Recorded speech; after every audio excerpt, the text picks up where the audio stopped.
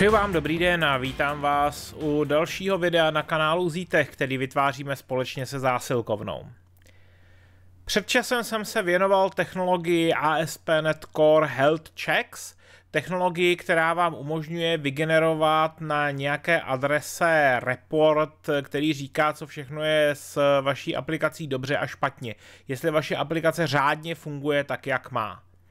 Jenomže vytvoření takové stránky eh, představuje jenom půlku toho problému. Vy potřebujete ještě něco, co vám bude konzumovat, co vám bude v pravidelných intervalech navštěvovat tuto stránku a v případě, že tam najde něco, co se mu nelíbí, nebo ta stránka dokonce vůbec neodpoví, tak vás o tom nějakým způsobem bude notifikovat. Ukážu vám dvě služby, které můžete pro tenhle ten účel využít. Samozřejmě nemusíte používat externí službu, můžete si napsat svoje vlastní řešení nebo nainstalovat něco jako je Zabbix nebo něco podobného. E, nicméně doporučuji, pokud to jako obecně dává smysl a ono většinou dává, spíš použít externí službu, která je naprosto nezávislá na jakékoliv vaší infrastruktuře. Protože když vám něco vyhníje, tak eh, je možné, že vám vyhnějí ten monitoring. Takže pro většinu firm a pro většinu projektů podle mého názoru dává spíš smysl použít externí službu. První služba, kterou vám chci ukázat, se jmenuje Uptime Robot. UptimeRobot.com vám nabízí spoustu služeb, já vlastně tady využívám jenom ty základní, bezplatné, ale nabízí vám toho spoustu. Eh, je to jedna z nejpoužívanějších eh, služeb obecně na světě. Eh, tady vidíte spoustu referencí a spoustu toho, co to umí. Já vlastně budu využívat ten website monitoring, nic jiného, ale možností je tady mnohem víc.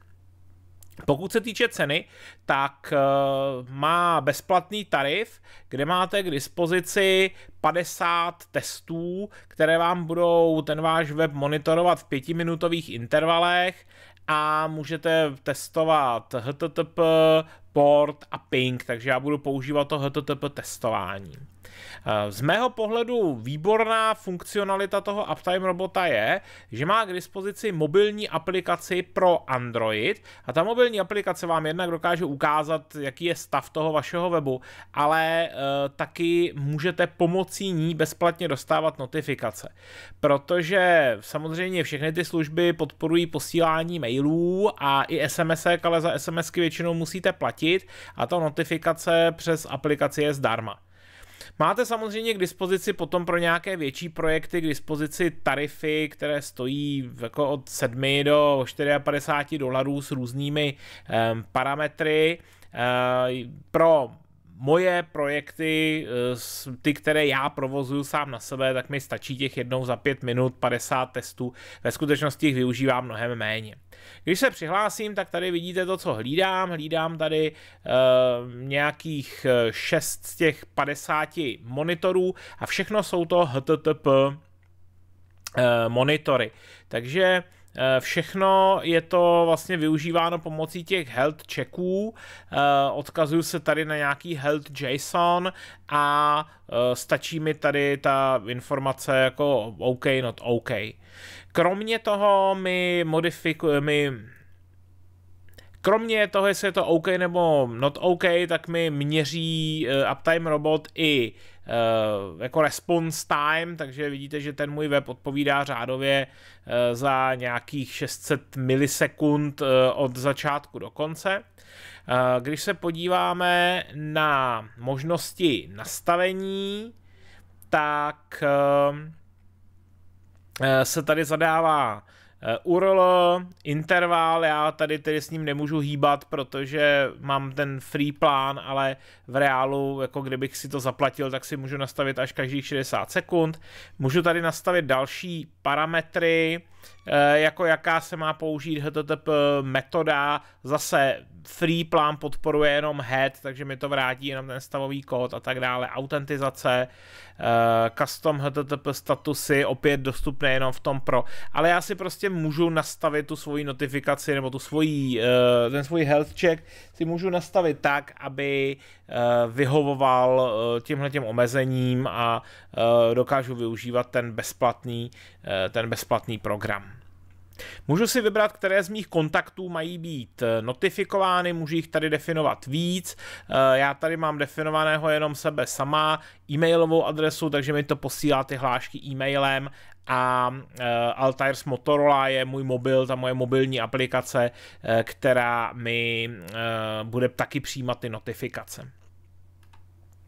Takže to je ve zkratce představení služby Uptime Robot, umí toho spoustu, tohle to jsou ty bezplatné služby, které já prostě využívám a které mi stačí. Ještě je tady jedna taková dobrá vychytávka, a to je TV Mode.